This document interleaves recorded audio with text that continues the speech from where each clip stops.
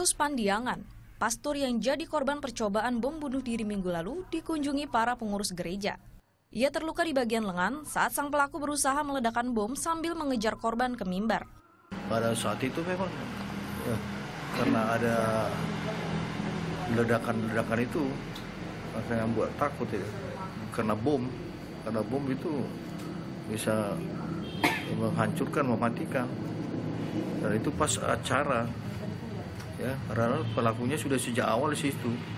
Bukan masuk tiba-tiba sudah dia persiapkan itu sudah duduk di situ sebelum acara. Ya, pada saat membaca kitab suci di situ bomnya meledak. Sementara itu, Wali Kota Medan menghimbau masyarakat tidak terprovokasi aksi kekerasan itu.